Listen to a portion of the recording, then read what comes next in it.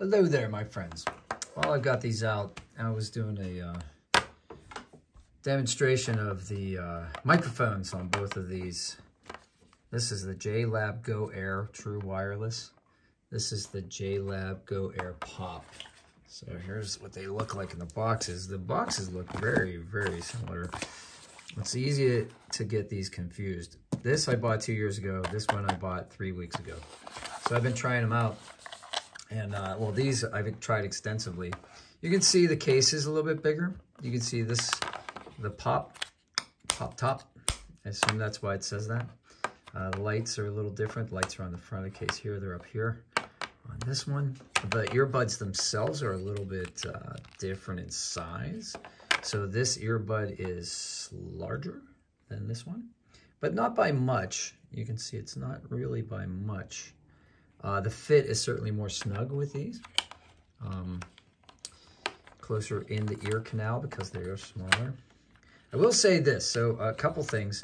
Uh, the sound quality is very similar, but the volume range on this one seems to be towards the lower end. This seems to be louder. So if you're like me and you have pretty sensitive hearing, uh, you're gonna wanna make sure that um, you're probably gonna prefer these because these have more of a range at the lower end, but they don't go as loud. These go loud. So if you're somebody that you shouldn't listen to really loud music, you're probably gonna um, gonna want to skew towards these. This will have like the thumping bass. This, uh, these will have more of a um, a subtle uh, feel. So I kind of like these better.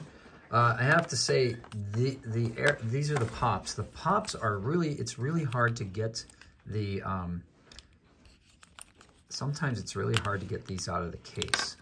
Uh, that may have something to do with my hands and the oil that my skin naturally produces, but the plastic on this is really smooth. And uh, so if that's an issue for me, I have the same issue with these skull candies. I just simply cannot get them out of the case. It's, um, it's infuriating. And I'm having the same issue with these.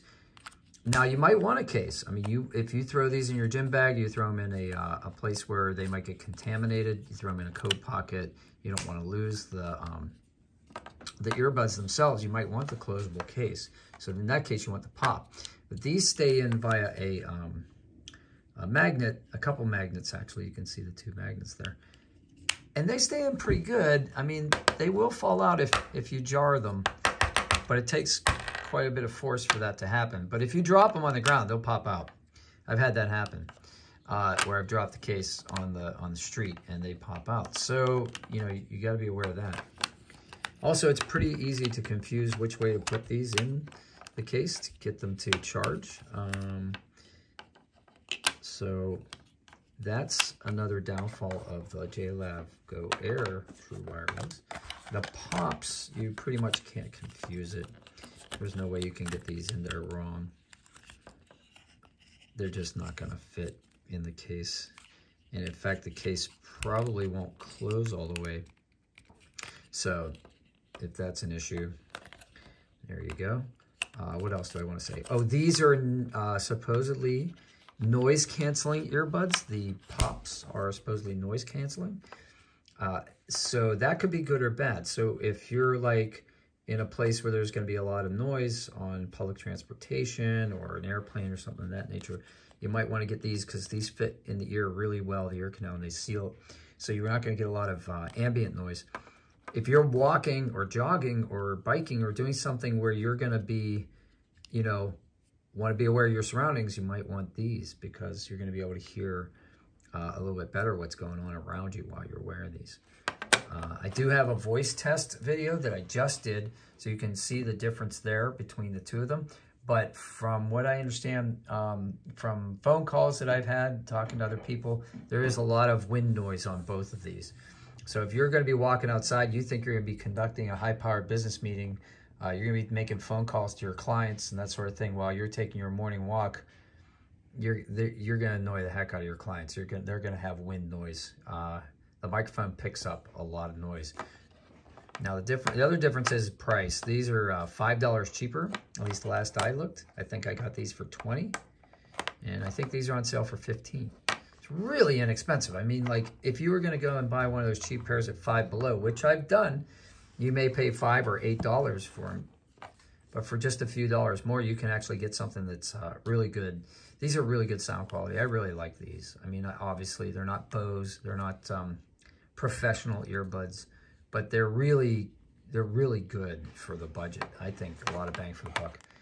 So what's my verdict? Well, I, I've had these for a couple years. I really like them. I think these are my favorites. These I carry to work uh, because they do have a closable case and I'll throw them in my coat or my back pocket and I know they're not going to fall out. And if they do fall on the floor like that, they're not going to fall out. Um, one thing a lot of people have a question about is that, you know, how do you charge them?